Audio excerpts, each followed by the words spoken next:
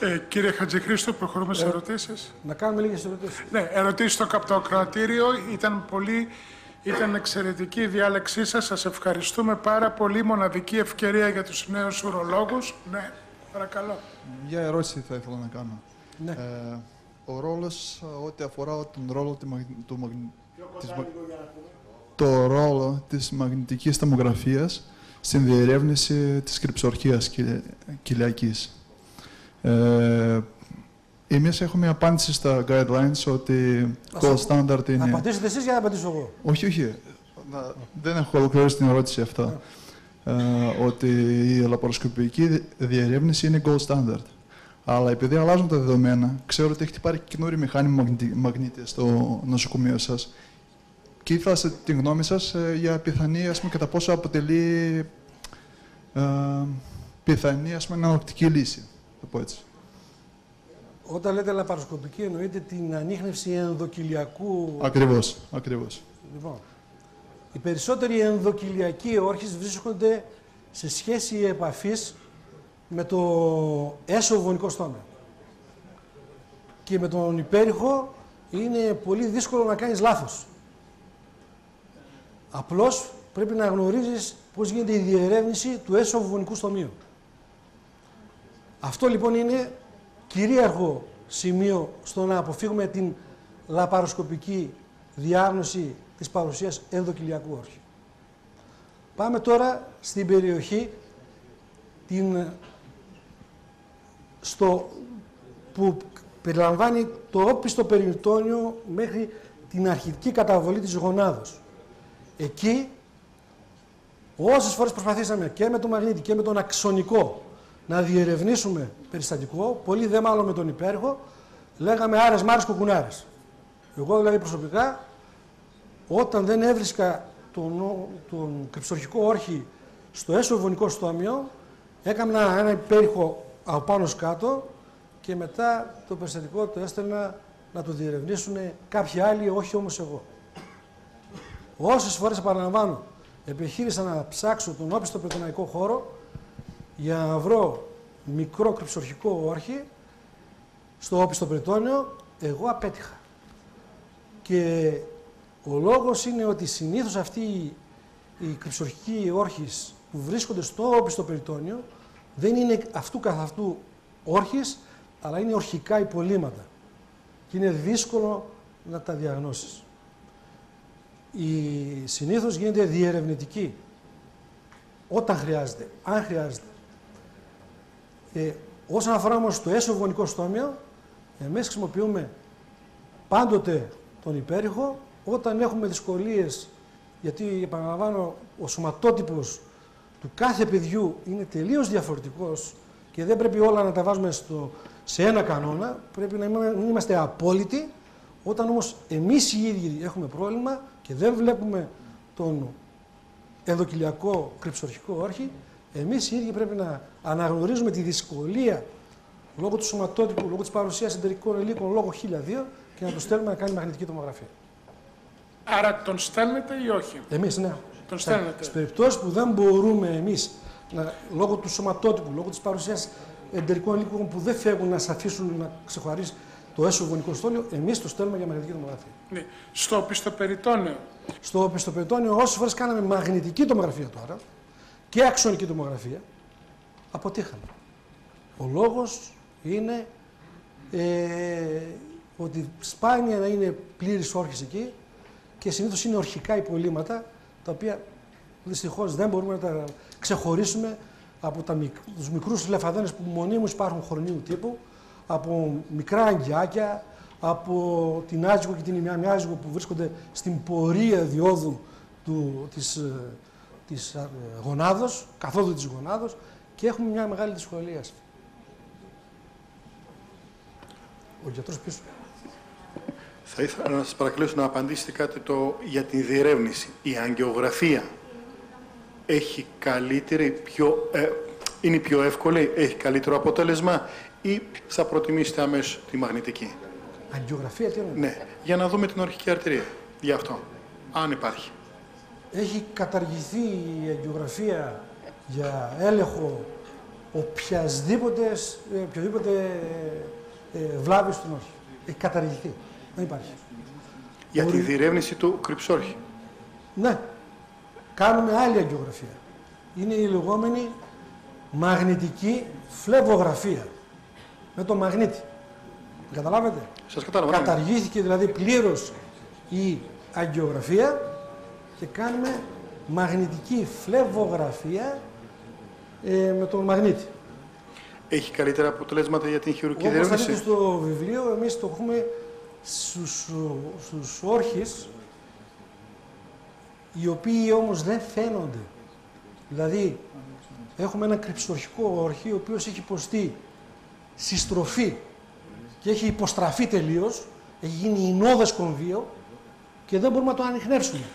Το Γι' αυτό τρία- και έχει όμως παραμείνει η φλεβική αγκίωση, το, το φλεβικό υπολοιπόμενο κλιματοειδές φλεβικό δίκτυο και αναζητούμε αυτό μέσω της μαγνητικής φλεβογραφίας και όχι της κλασικής αγκιογραφίας του είδους του νόσου.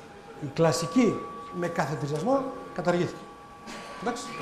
Το 35% σύμφωνα με τις μελέτες από το Charlovich, Virginia, Stuart Howard και Terry Turner των περιπτώσεων υψηλής κρυψορχίας συσχετίζεται με συστροφή κατά τη διάρκεια της ενδομή... τελευταίων ε, εβδομάδων της ενδομήτριας ζωής. Οπότε το σχόλιο αυτό των υπολοιμάτων του όρχιος είναι πάρα πολύ ωραίο. Ο καθηγητής ο κ. Κατζικρίστου ερώτησε Πάμε. από το ακροατήριο. Η συνάδελφος. Δύο ερωτήσεις θα ήθελα να κάνω και οι δύο αφορούν τη μικρολιθίαση. Ναι. Η μία, ε, αναπτύξατε δύο μοντέλα κατανομής των μικρολίθων σε περίπτωση συνύπαρξης νεοπλάσματος. Ένα αποθητικού τύπου και ένα που εμπεριέχεται η μικρολιθίαση μέσα στο νεόπλασμα. Θα ήθελα να ρωτήσω αν υπάρχει κάποια συσχέτιση με τους, με τους ιστολογικούς τύπους που θα μπορούσαν να εμφανίσουν το ένα ή το άλλο μοντέλο ή αν μπορεί ένας ιστολογικός τύπο, τύπος να αναπτυχθεί και με τα δύο μοντέλα. Να απαντήσω στο ένα. Ε, το- προσπαθήσαμε να κάνουμε εμείς μια μελέτη για να δούμε ε, αν η- το ένα μοντέλο αντιστοιχεί σε συγκεκριμένο ο, ιστολογικό τύπο. Υπάρχει ένα ε, μίνιμουμ αριθμό εξετάσεων βάσει της στατιστικής που μπορεί να γίνει αποδεκτό. Αυτός είναι ο αριθμός 36. Εμείς δυστυχώς τα περιστρικά που έχουμε με νεοπλασία φτάνουν τα 11. Μικρολιθίαση και νεοπλασία. Και από τα 11 αυτά περιστατικά δεν μπορέσαμε να βγάλουμε άκρη σε αυτό που λέτε. Δηλαδή δεν έχει, καταλήξαμε ότι δεν έχει σχέση αν είναι σε μήνυμα ή αν είναι ευρικός όγκος κλπ. Και αν μου επιτρέπετε να κάνω άλλη μια ερώτηση σχετικά με τη μικρολιθίαση. Ε, αν έχετε εμπειρία σε παιδιά, δηλαδή αν έχετε δει παιδιά με Βεβαίως. μικρολιθίαση και τι συστήνεται στην, όσον αφορά την παρακολούθηση των παιδιών αυτών από, απ- απ- από την άποψη της Ισχύει- απεικόνησης. Έχουμε δει και σε παιδιά και θα δείτε αν πάρετε το βιβλίο έχουμε ακόμα σε νεογέννητα. Σε νεογέννητα έχουμε μικρολιθίαση. Σε κρυψορχικούς όρχες που είναι ενδοκυλιακοί υπάρχουν τρία-τέσσερα περιστατικά τα έχω βάλει μέσα. Αλλά ισχύει και εδώ όσον αφορά την παρακολούθηση αυτό που σας είπα. Μικρολιθίαση σκέτη χωρίς άλλον επιβαρυντικό παράγοντα ανάπτυξης νεοπλασίας υπάρχουν 10 απόψεις τελείως διαφορετικές. Νεοπλασία η οποία όμως συνδυάζεται με άλλους επιβαρυντικούς παράγοντες ναι, θέλει άμεση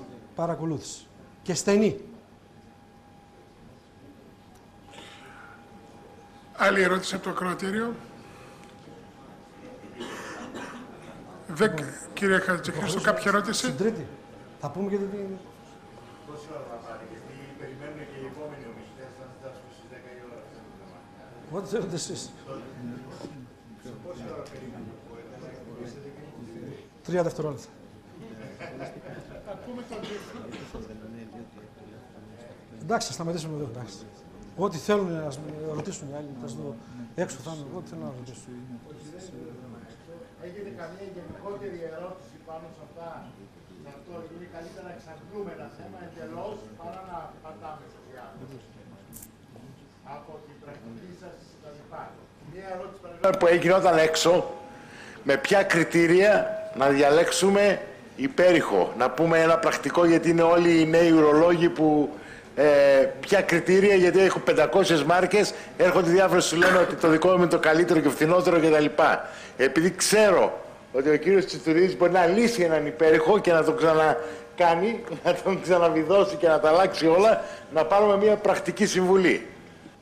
Ναι, λοιπόν, ε, Τι της μέρας μας για τα παιδιά τα νέα είναι μεγάλη επένδυση.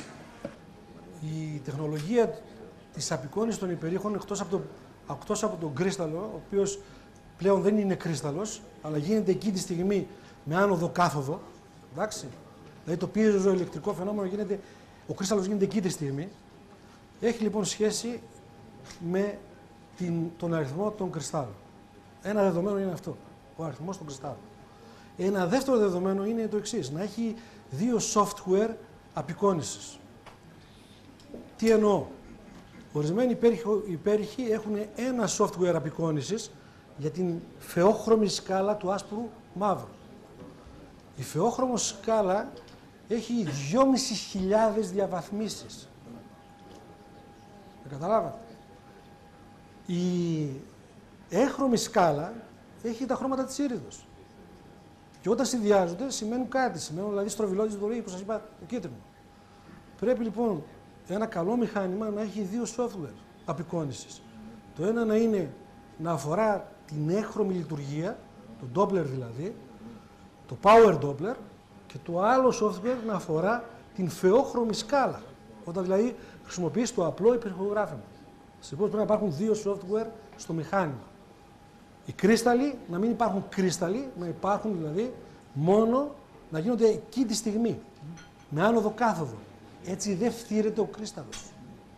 Με καταλάβατε; Ποιοτικά δηλαδή θα αντέξει το μηχάνημα στο χρόνο. Και η πιστότητα του μηχανήματος στο spatial και στο contrast resolution είναι, θα μείνει η ίδια σταθερή για πολύ καιρό. Ένα άλλο επίσης το οποίο πρέπει να, σαν ουρολόγοι, είναι το εξής, ότι να έχετε μέσης εμβέλειας ε, ε, δέσμη.